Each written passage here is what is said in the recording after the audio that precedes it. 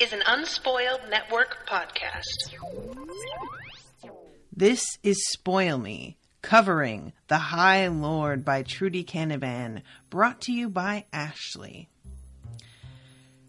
In this section, I am covering chapters 4, 5, 6, and 7, in which we finally discover what the deal is with Akkarin. And I am really pleased that my theory that he was doing something for the good of all that everyone didn't understand is proven to be correct. Welcome to Spoil Me.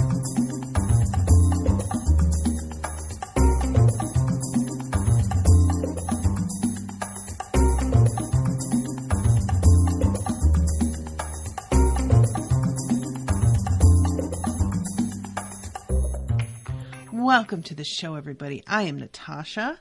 Um, again, many thanks to Ashley for commissioning this book, the third book in the trilogy.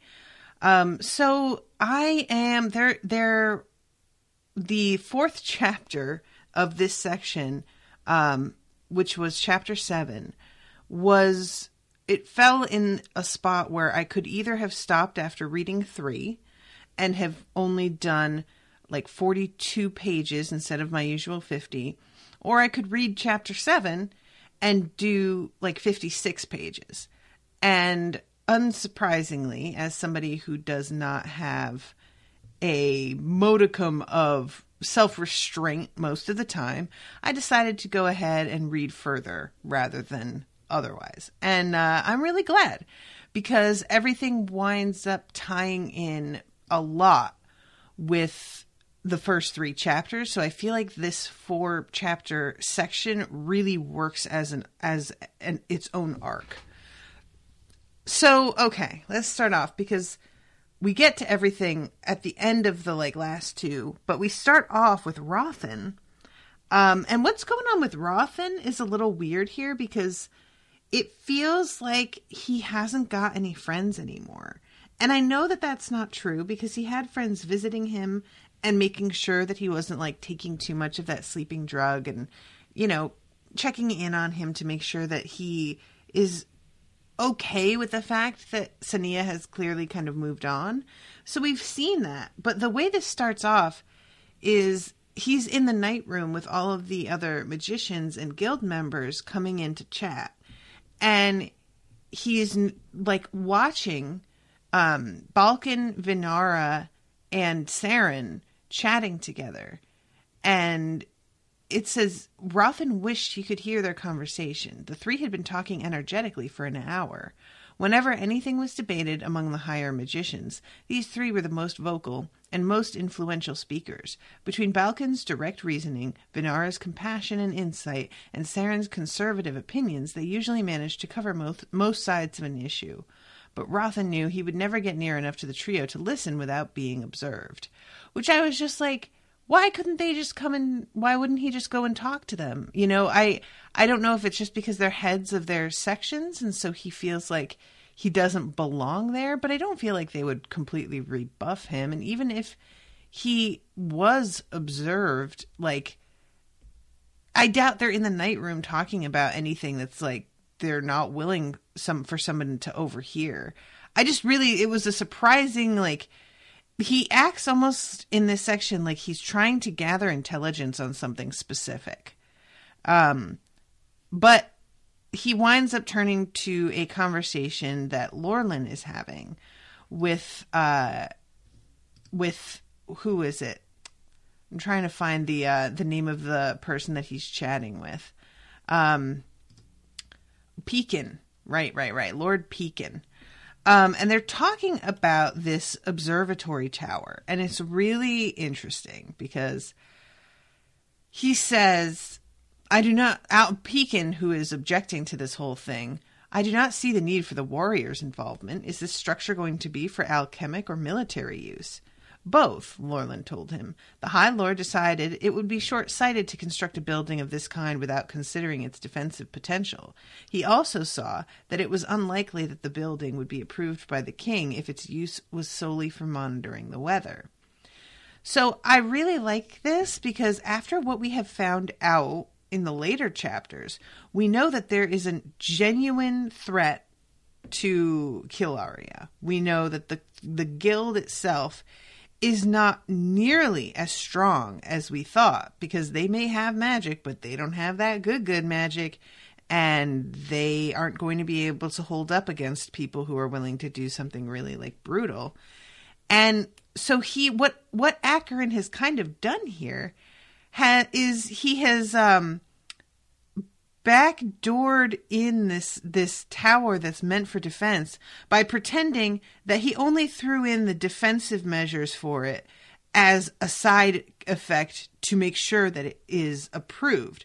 Whereas what I think is really going on is that it's primarily going to be a defensive thing.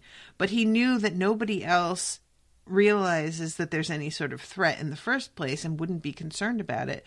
So he has has sold it as something to do with weather watching to make it feel more palatable to most people. And that's pretty fucking clever. I think that's what he's done, you know, like I could be wrong about his involvement in this. I, it could be that somebody came to him with the idea and he only approved it because he saw the potential. It might not have even originally been his idea. But whatever the case, I'm really curious what good it would even do because whether you can see them coming or not, it doesn't seem like they're going to be able to stand up against this. Like, based on what Sonea reads later, a tower is only going to give you a head start in knowing that you're about to be annihilated. You know what I'm saying? So I hope that this is part of a multi step plan of defense and not the thing that he's going to be kind of relying on. But I don't know if he really has any ideas as of yet. Um, so Peakin says something at this point that really gets Rothen's attention. I have heard that Sonea will not be attending evening classes now. Is this true? It is, Jerrik replied. The High Lord spoke to me yesterday. A few of her teachers had commented to me that she appeared to be tired and was easily distracted. Akkarin had made the same observation and agreed to let her have the evenings free for the rest of the year. What of those subjects she has already begun studying? She'll have to begin them again next year, though she won't have to repeat any projects if she doesn't need to. Her teachers will take into account what she has covered already. Will she be favoring a discipline? This will make it even more necessary that she focus her efforts on one soon, or she will not be proficient in any by graduation. Akkarin hasn't decided yet, Lorlen replied. Akkarin hasn't decided, Jerrik repeated. The choice is Sonea's. There was a pause. Of course, Lorlen agreed. What I meant by that is Akkarin hasn't indicated to me which he'd prefer her to choose, so I'm assuming he hasn't decided what to recommend. Maybe he doesn't want to influence her in any way, which is why he and then they start to fade off as they walk away. Um, so Rothen has a moment of being like a little worried that Sonea isn't going to evening classes, thinking that she's going to be Akkarin be around Akkarin a lot more often if she's not in class. But then he realizes that Sonea is not going to choose to be like at home in Akkarin's presence if she has that free time. She's going to go to the library and be around other people and safely away from him. So he overall seems to think that this is for the best. I would like to register my my sort of admiration, I guess, for the way the guild handles things, that they can all see that she's overtired. And we know as readers what this is really about. That she is con- like really uh, she's been doing a lot of reading of things that are disturbing to her. She is in a situation that is very stressful, but they think that it's that she's overtaxing herself with classes, which I am positive doesn't help. Um, and they decide that this is that the best thing to do is to ease up the load on her a little bit. And there isn't like a lot of you know there's a little concern about her making sure that she's able to regroup when she starts some of these subjects again. But other than that there's no sort of judgment about the fact overall that she is exhausted. Um, it's almost like they all sort of understand that she being as proficient as she is at so many basically the the strength that she has, maybe that she's getting more pressure put on her because of it, and so they are willing to give her a little bit of a break because they all recognize that she's being kind of like, um, you know, she's a star student in some ways. I think, and I just really appreciate that they are willing to like let her take a step back and rest. I, you know, there's a lot of schools that it's pretty much sink or swim and if you sink, it's implied that it's just because you aren't good enough. And I find that to be really offensive, frankly. Like, as somebody who went to a school that was like that, it's gross. And it just, it's not like respectful of the fact that people are human and all capable of different amounts of like grueling labor. And I just really like the fact that the guild is flexible in that way. Um, so then we go to Dannyl and Tayend. And Dannyl, this is so funny because Tayend is just so not good at this like subterfuge and he doesn't think through the implications of what he's saying and doing.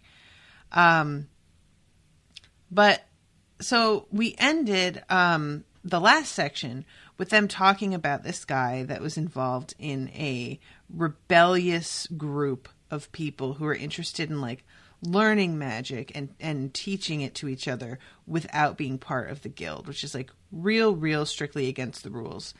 The kind of against the rules where if you're caught doing it, you will be killed. That kind of thing.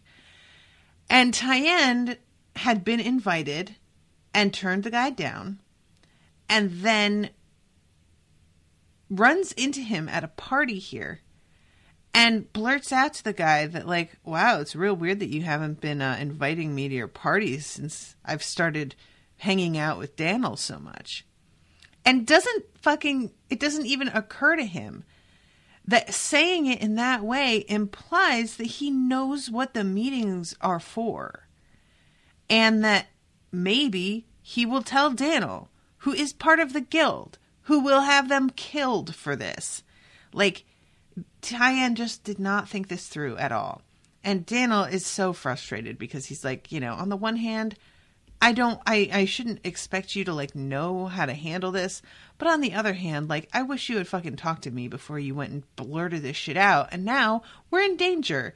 And the whole thing was supposed to be that they gave the man something to blackmail them with before they got involved with this secret group so that the man would feel he had something on them to keep them from blabbing. But because this man has found out that Tayend suspects before he has any blackmail material, it means that now they need to like quickly feed him blackmail material so that he won't kill them. Which this is a very tricky proposition. Um, so what they wind up doing is later on, and I'm not even remembering where they're heading to, but they stop at an inn and have a meeting with this guy. And Dannyl sort of hints to him that I am willing to teach outside of what the guild outside of what they find appropriate because I want to take care of Tayend and I'm worried that if anything were to happen that they would come after him and he can't defend himself. So if you can offer some kind of protection, then you know, it's sort of it, it's it's like he's sort of trying to make it like, well, I'd be willing to work with you on this even though it's against the law because the stakes are so high for me if anything were to go wrong that maybe looking to outside um, sources for help is going to be my only option, which is a pretty smart way to handle it. I was, um, I confess, a little concerned when they meet up with the guy and they're drinking wine with him because I thought he might have done something to it, but apparently it gets uncorked by the, um, the innkeeper, like right in front of them. So that's something. Um, but yeah, this so they're doing some damage control there, and I'll be interested to see what winds up happening here. Um, so let's talk about the book that Akkarin gives to Sonea. Um, he comes to her room and she thinks that it's Viola with the uh, with her nightly cup of raka that she's always excited for, and it is not. It is Akkarin, and he has two books, which it turns out are the same book.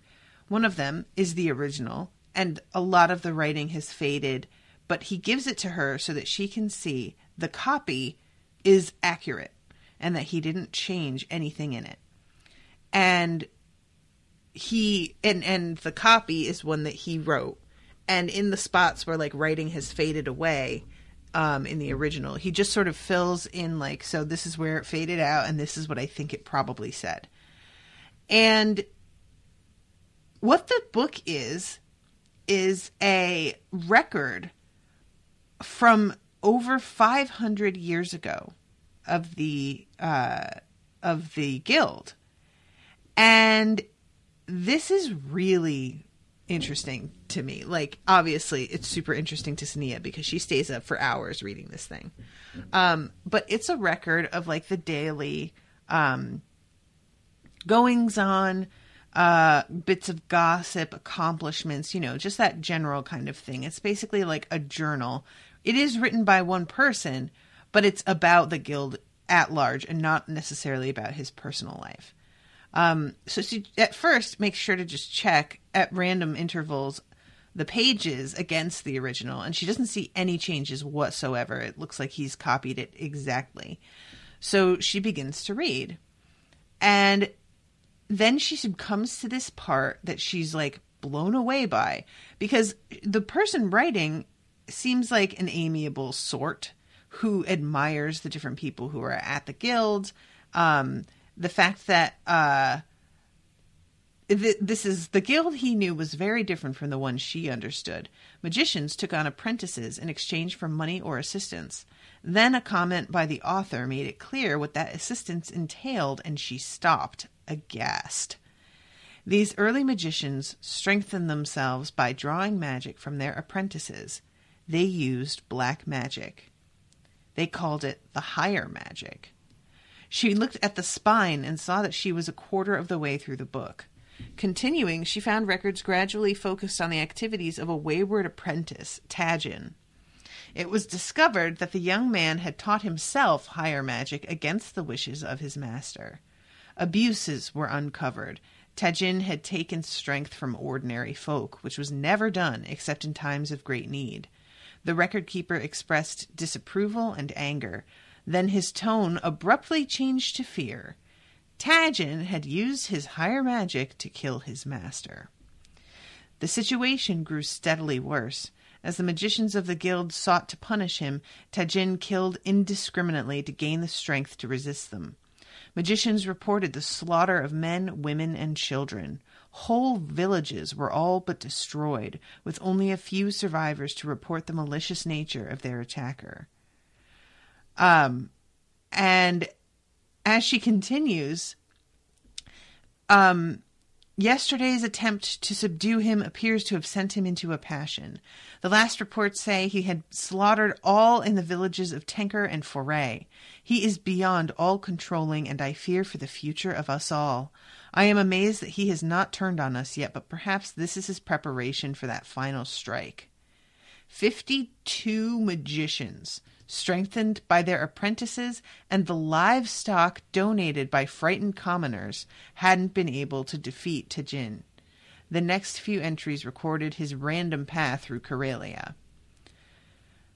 So there's a couple revelations there. First being that Tagin, like, well, first let's talk about the fact that they can draw on the strength of livestock, which never even occurred to me. I assumed that there was something about the consciousness of humans that was important to the power that they were taking on. But apparently it's not. It's sheer life force, which is like, you know, available in any living thing. Um, and we see this a second later. The view from my window is ghastly. Thousands of Gorin, Enka, and Reber rot in the fields, their strength given to the defense of Kyralia too many to eat. So they're just killing all of these animals, eh, killing their food supply in order to keep this guy from slaughtering everybody. And it's not even working. You know, they're sacrificing all of this, and the guy is still fucking escaping and winning and killing. They he takes out um, Lord Garin, Lord Dirin, Lord Winnell, and Lady Ella. So four full-grown magicians, and he kills them, no problem. Um, and then finally, it is over. When Alik told me the news, I dared not believe it. But an hour ago, I climbed the stairs of the lookout and saw the truth with my own eyes. It is true. Tagin is dead. Only he could have created such destruction in his final moments. Lord Eland called us together and read a, a letter sent from Indria, uh, Indria, Tagin's sister. She told of her intention to poison him. We can only assume that she succeeded. So that's interesting. Only he could have created such destruction in his final moments, which we know that when they die, there's, you know, a burst of energy. Um, but the fact that, because he says, I climbed the stairs of the lookout and saw the truth with my own eyes, so she must live close by that he was able to see it. Um, because I assumed that Indria was poisoning him at her home. But the fact that they don't see the body, I find weird. Like, does that burst of energy that they have when they die, does that explode them or something, or disintegrate them, make it so that there is no body? Um, I maybe Rothen and Dannyl mention this at the end of the first book, but I don't remember. Um, so then the record keeper recounted a slow restoration. The magicians who had left returned. The stores and libraries were set in order again. Sonea mused over the long entries covering the common people's losses and recovery. It appeared the guild had once been concerned for the well being of ordinary people. Truly, the old guild was destroyed with Tagin. I have heard some say that a new guild was born today. The first of the changes occurred this morning when five young men joined us. They are our first novices, apprenticed to all and not one. They will not be taught the higher magics until they have proven themselves trustworthy. If Lord Karen has his way, they will never learn them at all. Support for the ban of what Lord Karen had begun to call black magic increased. Sonea turned a page and found one last entry, followed by blank pages. I have not the gift of foresight, nor do I pretend to know enough of men and magic to guess the future. But after we made our decision, I was gripped by a fear that the Sachakans might rise against us again in the future, and the guild would be found unprepared. I proposed a secret store of knowledge, to be opened only if the guild faced certain destruction. The others of my company agreed, for many of my fellows held the same secret fear. It was decided that the existence of a secret weapon would be known of by would be known of by the head of warriors only. He would not know its nature, but would pass the location down to his successor. I now finish this record here. Tomorrow I will begin a new one. I sincerely hope that nobody will ever open this book and read these words. Below this last entry was a note. Seventy years later, Lord Coral, head of warriors, died in a practice bout at the age of twenty eight. It is likely he did not have an opportunity to pass on the knowledge of the secret weapon. So, there is a secret weapon, and it remains to be seen whether or not it's like the chest full of books that Coren discovered when he wrote in his thing about manipulating stone, or if it's a whole other thing because nobody was given the information. Um, so yeah, that's fucking intense, right? And that all gets revealed in the in the first chapter of this section, chapter four. Um, so let's talk about Cery because he's uh, hanging out with this chick Savara. Now, Cery, it turns out, is working for Akkarin, which didn't even enter my head. I knew that he was working for somebody, but I figured it was one of the thieves, like one of the head of the thieves guilds, and that they just didn't know about each other, that we just weren't going to find out exactly which one until later or something. But it turns out that he's doing some shit that even the other thieves don't know about. Um, and Savara is uh, growing a little bit bored being shut up in this room and watched so that they know that she's not influencing things, and has started to fight with some of the guards, like practice bouts of fighting. Um, and wins pretty much every time.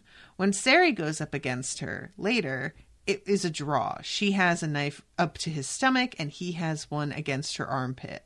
So it's a pretty much a draw. Um, but it's the first of anyone that she's fought who could hold up their end of it. So I think she's a little impressed with him, and he's clearly impressed with her. And he also is very attracted to her, but is aware of how dangerous that is and keeps trying to sort of tamp it down, which is amusing. Um, so it turns out that she knows who he's working for as well. And he's very unnerved by that. Um, she says, okay, where is the spot? Um,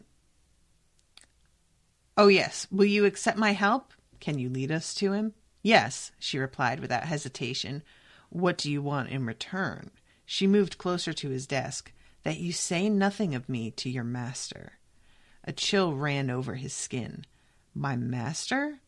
The one who has ordered you to kill these men, she said softly. She should not know about him. She shouldn't even know that Cery was acting on the orders of another at all. This changed everything. Cery crossed his arms and considered her carefully. Investigating her usefulness without consulting the one who arranged the hunt had seemed like a small risk. Now it appeared to have been greater than he had thought. She knew too much. He ought to send his best knife to dispatch her, or kill her himself, now. Even as he thought it, he knew he wouldn't. And it's not just because I find her interesting, he told himself. I need to know how she learned so much about the arrangement. I'll wait, have her watched, and see where this leads. Have you told him about me? she asked. Why don't you want him to know about you? Her expression darkened. Two reasons. These slaves know only one enemy hunts them. It will be easier for me to help you if they do not know I am here. And there are people in my country who would suffer if the slaves' masters learned I was here. And you think these slaves would find out it uh, would find out about you if my master knew? Perhaps, perhaps not. I'd rather not take the risk. You are only asking this now. I might have told my customer about you already. Did you? He shook his head. She smiled, clearly relieved. I didn't think you would. Not until you knew what I could do, and and um, not until you knew I could do what I said I could. So yeah, I really like. Here's my theory. Well, you know what? All right, I'm gonna wait until we get to the section later where we find out Akkarin's story, and then I'll share my theory on w- how she knows what she knows.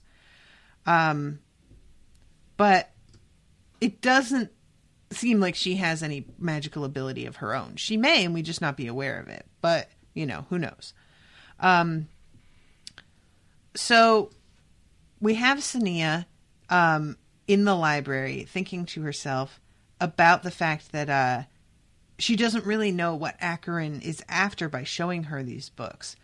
Um, and she really doesn't know what this information can do for her. Like, if anything, it's made her a little bit more afraid of him because now she's aware of just how strong he could be by doing what he does. Um, and as she's uh, sitting here in the library, there's a weird thing where there's these two girls who are looking at all of the male teachers and assessing how hot they think they are, pretty much. Um, so they start off talking about Lord Larkin. Um, I never considered him before, but he is fairly good looking, I suppose, and still unmarried. Not showing much interest in getting married, from what I hear. Um, oh, look, there's Lord Darlin. He's nice. Pity he's married. Hmm, the first agreed. What do you think of Lord Vorel? Vorel? You're kidding. Not one for strong warrior types, are you? And then no, look there. Now that I wouldn't turn down. Oh, yes. The other agreed in a hushed voice. Look, he stopped to talk to Director Jerrik. He's a bit cold, though. Oh, I'm sure he could be warmed up. He's so handsome. Pity he's too old for us. I don't know, the other replied. He's not that old. My cousin was married off to a man much older. He might not look it, but the High Lord is no more than thirty three or four. Sonea stiffened with surprise and disbelief. They were talking about Akkarin. But of course they didn't know what he was like. They saw only an unmarried man who was mysterious, powerful, and and then it gets cut off and I was like, "And what? Is he hot? Like what's what's going on there?" Um how could those girls find him attractive, she wondered. He was harsh and aloof, not bright eyed and warm like Dorrien, or even slickly handsome like Lord Fergun. Um, so I, I can't imagine what this is setting up other than that there is going to turn out to be a weird little like thing between her and Akkarin because why do we need to hear that he's actually considered pretty attractive by other girls if if not to plant that in our heads right? Um but he is older enough than Sonea like what is she like 18 at this point? So you know still i hope that that's not a thing but we'll see. Um and yeah i just can't imagine like i don't know what that's gonna do. Um all right, so yeah, this is a point, the part where Dannyl goes and meets this guy at the inn. Um, so let's go to the chapter six, the little journey through the tunnels. Um, Sonea gets home, and Akkarin summons her to his like basement study room, the room that she is very frightened by. And Takon tells her very confidently that he is not going to harm her. And we find out later the relationship between Takon and um, Akkarin, and it makes a lot of sense because that was the main thing to me was that Takon or Takan, I'm going to call him Takan. Takan does not seem intimidated by Akkarin. He doesn't seem like he views him as a master in the same way the other servants view their masters and feels more like they're equals. And this appears to be why. Um, so she goes in and is like considering trying to just run because she's so flipped out of being brought down here. But both times that she was down here, she saw him performing dark magic, right? So then she notices that he's wearing ordinary, like rough spun clothing and that he has an ordinary lantern as well, and he's not using a globe light. So he tells her to put on this cloak that he has for her and that he wants her to go into the tunnel with him. And she gets led out into the tunnels and remembers like that she had actually come across his study when she was exploring one time but once she realized where she was she didn't go any farther so this time they do go farther and there are several barriers that are sort of built into the tunnel. And she realizes that she would have come across these had she continued exploring and maybe not been able to pass through them. Um, maybe she could have if she had used her magic, but I have a sense that she wouldn't have wanted to draw attention to herself by messing with a spell like that. But, you know, now that we know what we know, it's clear that like Akkarin is not taking any chances with there being a secret entrance into his hidey hole because he can't, you know, the there are three barriers set up, so they would get through one and they would still have two more to get through. Um, because this is a potential area that they could breach the place, you know, the Sachakans. So, um, as they're going, and you know, I just got really like impatient with Sonea in, in, a couple places. Like, um, they are walking out there, and she, you know, notes again how tr- much trouble he's taking to disguise himself, and thinks. If it's important that nobody recognizes him, then I have something I can use against him tonight if I need to. And I'm like, Sonea, he's about to show you some shit you need to stop being so suspicious of him specifically and start like looking at the fucking evidence that he's attempting to connect with you on this stuff because he has something to tell you. she's just so caught up in this narrative of him being a bad guy that she's unwilling to like open her mind at all. Um, so they get to this uh the thieves road which she recognizes by the smell and the look of it and there is a man who like um is apparently in front of this door like as a guard um morin i think is his name um yeah morin and Akkarin says, Did you find a red gem on him? No. Searched him good. Found nothing. Akkarin frowned. Very well. Stay here. This is Sonea. I will send her out in a while. Morin's eyes snapped to hers. The Sonea? Yes, the living, breathing legend, Akkarin replied dryly. Morin smiled at her. Honored to meet you, my lady. Honored to meet you, Morin, she replied, bemusement overcoming her anxiety for a moment. Living, breathing legend? So, yeah, I'm curious about that myself. Like, how has this legend expanded since she uh, busted the place up and got taken away to the guild? Um, so they go inside, and there is a really thin, sickly looking man manacled to a bed, and he is covered in scars covered in them. And, you know, the revelation of uh, Savara earlier talking about slaves pretty much, you know, I, I started to be like, oh, I bet they're made to like it, it this just confirmed a suspicion that had like um started to bubble up as soon as I read that word being used. First of all, Akkarin figures out exactly where this red gem is. Uh, there is a gold tooth in his mouth with a gem in the middle. And it's just so ingenious to me to put it there. I just, you know, wow. And Akkarin sm- like smashes it on the floor, but the guy is pretty confident that if the uh, magician who put that tooth there is watching, he's already seen Sonea and is going to try and like get to her. Um so yeah, I'm just like really curious if that's true because we know that like Akkarin isn't always what's the word I want? tuned in to what what's going on around Lorlen, you know? It's like he catches things for sure, but I don't know like this kind of gem does it DVR things? Does it make it so that you can go back and look at what happened even if you're not watching at the right moment? Um, or do you have to employ mind reading for that part, you know?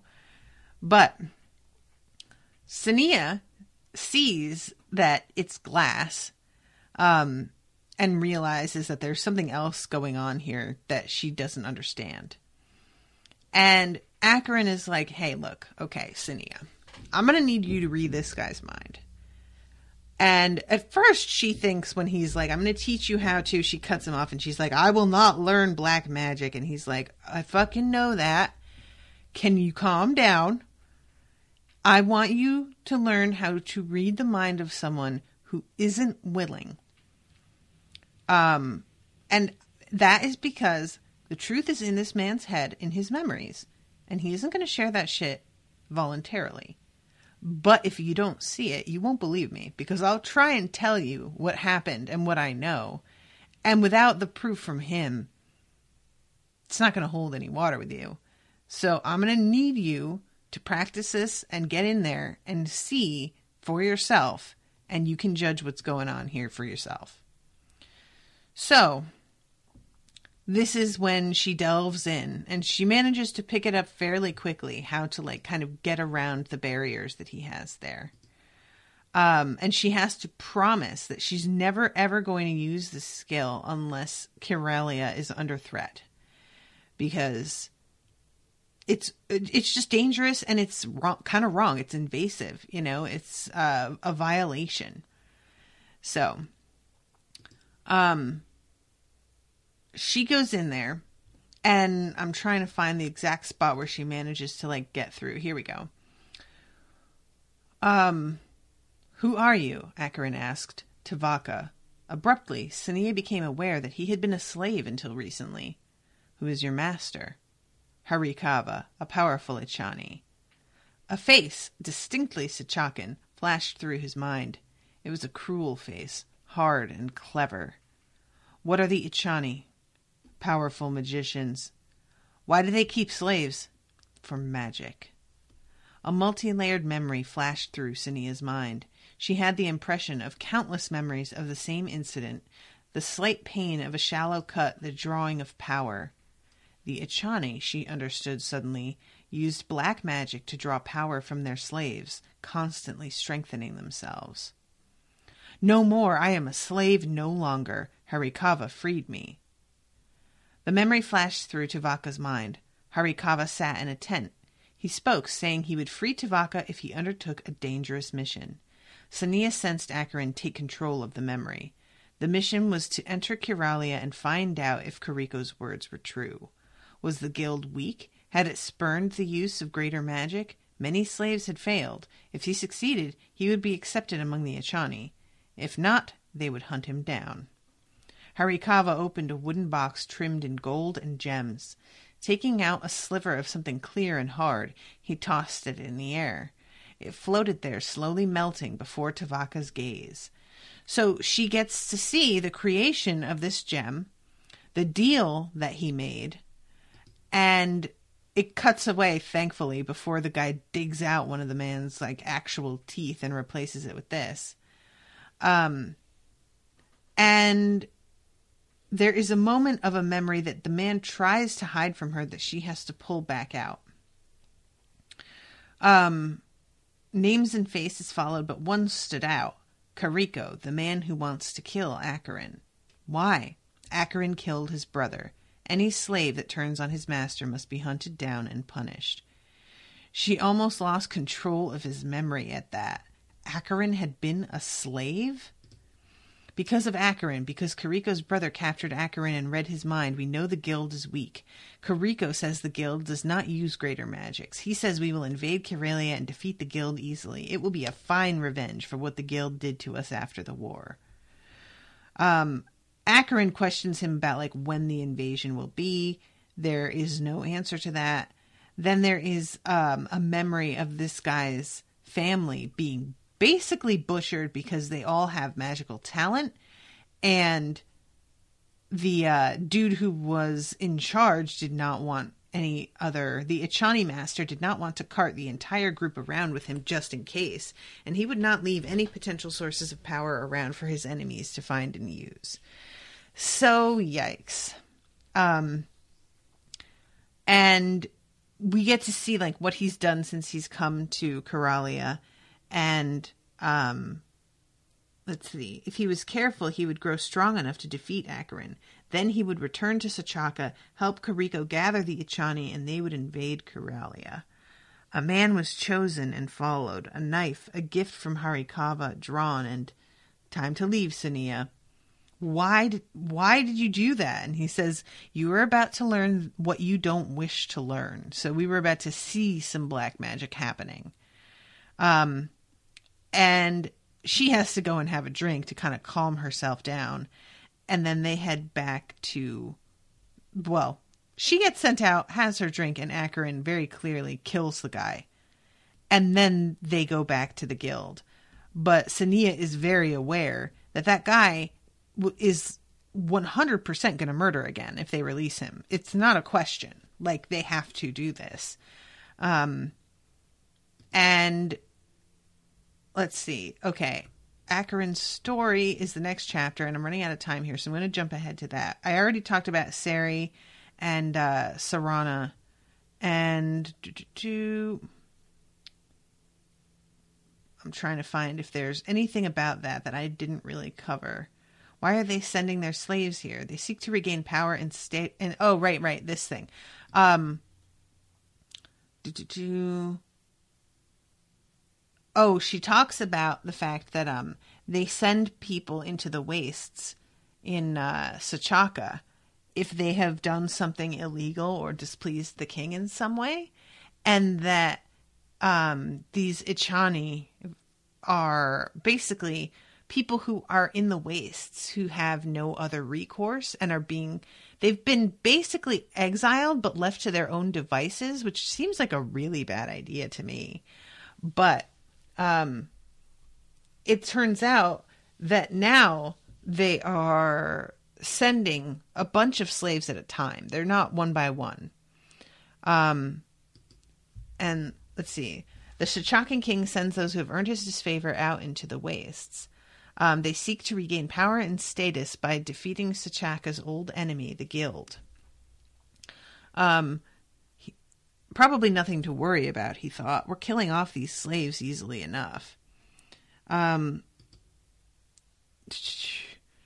and he asks, like, well, if you can find them and kill them, why don't you just do it? And she says, but if I did, you might mistake me for one of them. And this is when they get interrupted by Morin and he tells Cery about how Sonea was with Akkarin this time. And Cery's just kind of like, fuck, Sonea, I'm over here like totally macking on this girl. And I just haven't even given her a second thought. And then he's like, but Sonea doesn't even like me like that. Why am I even worried about this? Which is my question. Um, but he clearly still does have some feelings for her. It's just, you know, the he's acting like he was being disloyal to her when really he's being disloyal to himself i think he feels. Um so that section ends with uh send the high lord a message. We need to talk.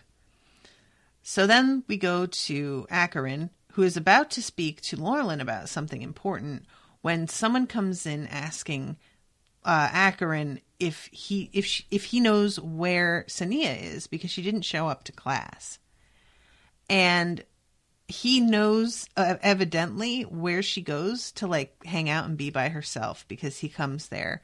She's in the woods, kind of sitting on this stone alone, like thinking things through, everything that she's seen. There is this moment that's like, um, yeah, this this whole thing is changing the way that she sees everything. Um,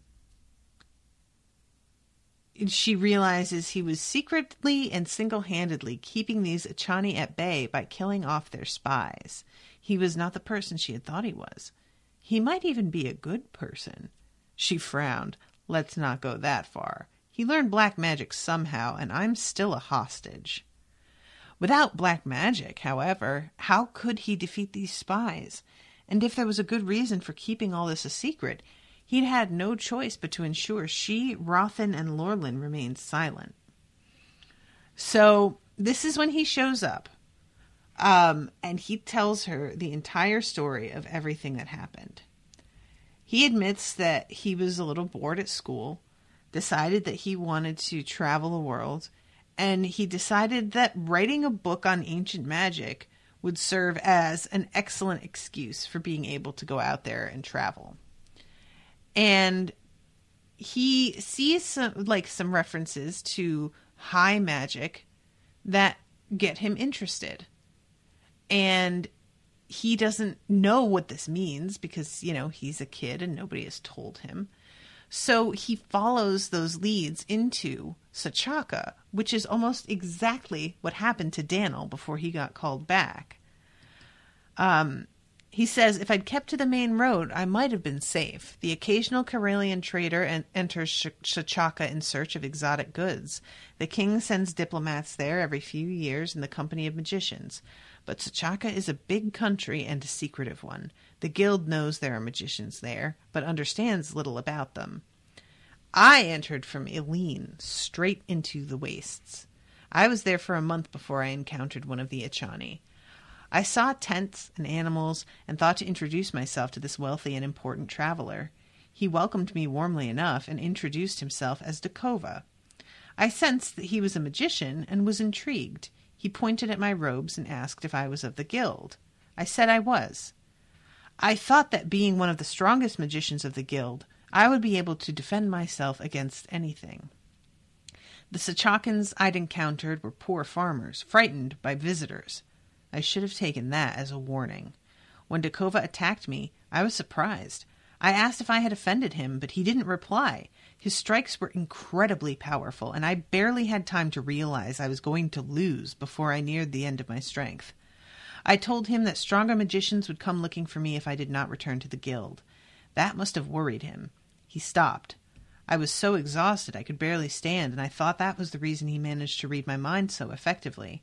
For a few days, I thought I'd betrayed the guild, but later, when I spoke to Dakova's slaves, I learned that the Ichani were able to get past the mine's barriers at any time. So, this is the first time that we encounter this magic of being able to read an unwilling person's mind. Dakova learned from my mind the guild had ma- banned black magic and was much weaker than the Sachakans believed. He was so amused by what he saw in my mind, he decided that other Ichani had to see it, and I was too exhausted to resist. Slaves took my robes and gave me old rags to wear. At first, I couldn't grasp that these people were slaves and that I was now one as well. Then, when I understood, I would not accept it. I tried to escape, but Dakova found me easily. He seemed to enjoy the hunt and the punishment he dealt out afterwards. Um, so every night, Dakova would drain Akkarin of his power so that there was no way that he could escape in the, in the night. And so that he himself can take on that power because Akkarin apparently was a quite a nice little resource, you know, like yikes. I'm sure that was a real like high for him in a way.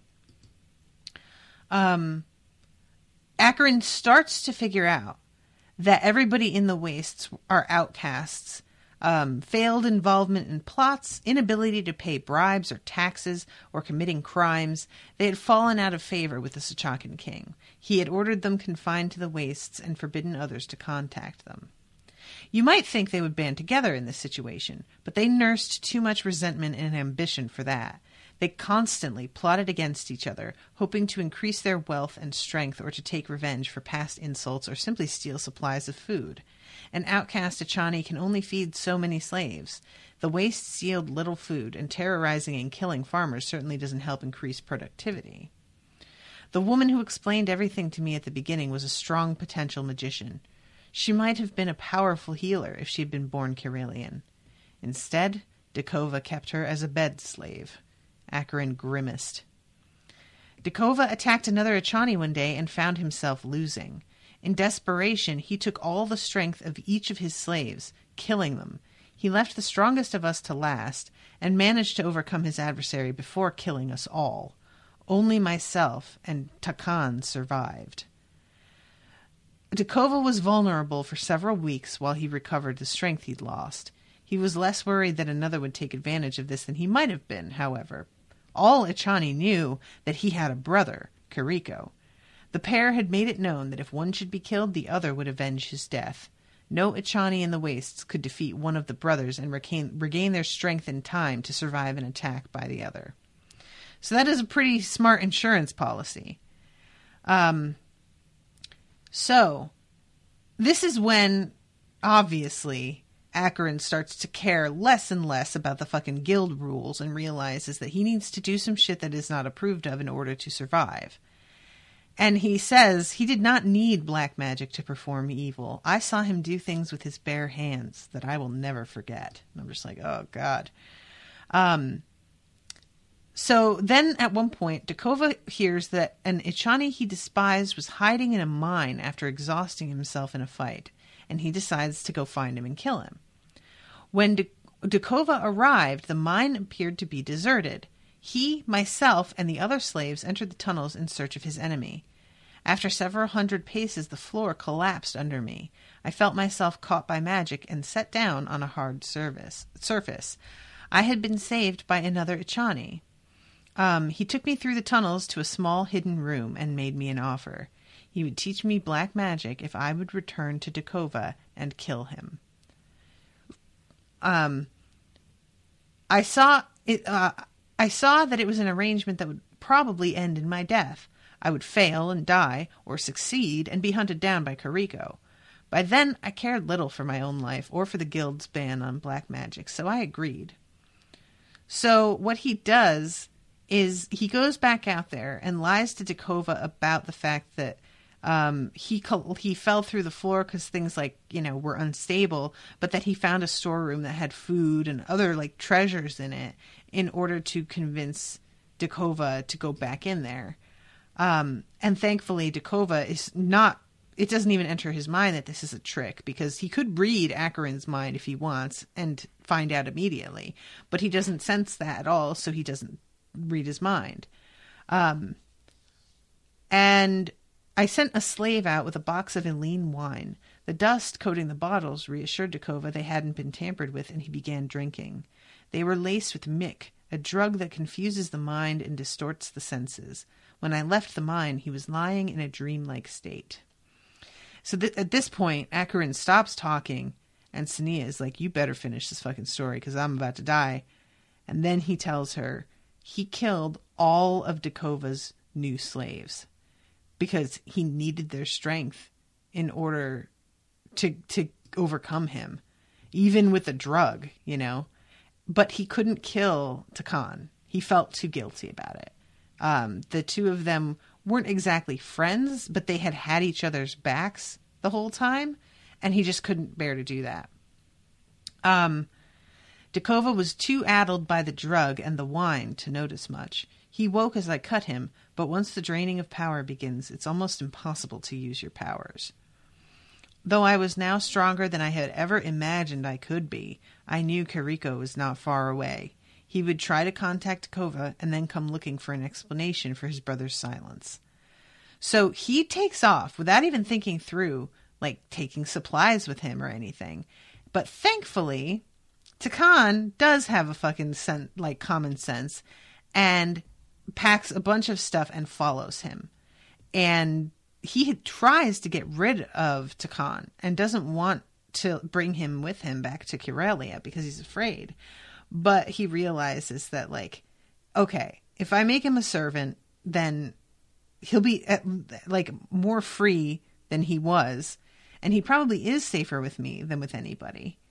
Um, so he comes back, and everybody is like, you know, well, where where have you been? It's been a minute, and he just makes up a story of like going up into the mountains to study alone in solitude. So that's what that whole like missing time bit is was him being fucking enslaved and having power stolen from him over and over again. And he shows Sonea the scars all up and down his arm from being cut repeatedly. Jesus Christ, you know? Um so he is really surprised when when Lord Balkan presents him as the option for next High Lord because the old one died. And he says it's interesting what people will overlook when they desperately want to avoid electing a man they don't like. And Sonea wants to ask who this is that they don't like. I also would like to know. Um, but we don't find out. And I'm wondering, was it Geralt? Like, because you know, I just there's something there with Geralt.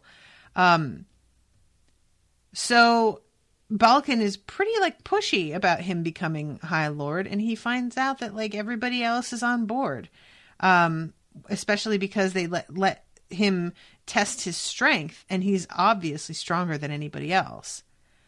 So this also explains because you know people had talked about before how um, or I think it was actually specifically Lorlen had talked about how he and Akkarin had been at a similar level, and then Akkarin went away and came back and was suddenly way stronger, and he assumed it was black magic, which it turns out it is, but like not because Akkarin was ambitious and just going out there learning shit for the sake of it, more because of this like enslavement and desperate need to survive. Um, after a few years, I heard about murders in the city that sounded suspiciously like black magic. I investigated and found the first spy.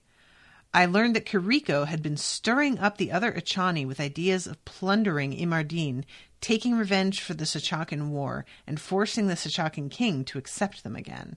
Which I'm like, oh yeah, that makes sense. Like if you overcome these people and you're in not in the king's good graces, that might help. Um, and yeah, I'm just like really curious about how this is all going to play out. Um, and she asks him like, why haven't you told Lorlen? And he says, if I let Lorlen like mind read me to know this truth, then he, he might learn about how to use black magic. And I just can't have anybody else knowing how to do this. Like, to which I'm like, I don't, I think that you should let other people learn how to do this. That's obviously the only way that you're going to be able to come up against these people in the end. But, um, so yeah, um, remember, I knew there was no immediate threat from Sachaka when I first arrived. Um, not only Kariko convinces the other, not until Kariko convinces the other Ichani to join him, will there actually be a real threat. And she's like, well, but the sooner the guild knows, the more prepared they they'll be. But he's like, preparation isn't going to help, basically. Um, until I find a way for them to fight back, them knowing about it is not going to be any good. So he says that he's just going to continue hunting spies. He, you know, confesses being paired up with the thieves on this. Um, and let's see, what's the next thing? Why did you tell me this? He smiled grimly. Somebody else needs to know. But why me? You knew so much already. Well, can we tell Rothen? No, not unless we must reveal everything to the guild. What if he tries to do something about me? Oh, I'm watching Rothen closely. Um, Sonea felt a strange mixture of fear and respect. He had killed many times. He had learned and used the darkest magic. Yet he had done it to escape slavery and to keep the guild safe, and nobody but she and Takan knew. So, yeah, that's the end of that section. And I'm like, oh shit this just it changes everything about the way that she's going to operate now and Rothen and Lorlen don't know so their attitude toward Akkarin isn't going to change which means they're not going to understand why she's suddenly more uh, like amenable to him and they're going to wonder if she isn't being like taught black arts herself you know um yeah i'm just like man i want to know what this like weapon is if it is it in those other books that she hasn't gotten a chance to read yet? Like, what's going on? So, yeah. Um, thank you again to Ashleigh for commissioning this episode. I barely had enough time to talk about everything, but no regrets. I'm just really glad that I got to read that section this soon. And um, I'm just, I, you know, this whole thing with uh, Regin touching all of the other um, apprentices, I'm wondering if there that's like or the other novices in order to try and overcome Sonea. I'm wondering if there's a way to tap into somebody else's energy without killing them. If there's a way to, you know, he obviously is doing something, and Akkarin was able to give his magic over to Garol to like help him recover strength. Is that as effective as blood magic or no? Uh, so that's my question until next time. Thank you all so much for listening. Thanks again to Ashleigh. Hope you're enjoying, and toodaloo, motherfuckers.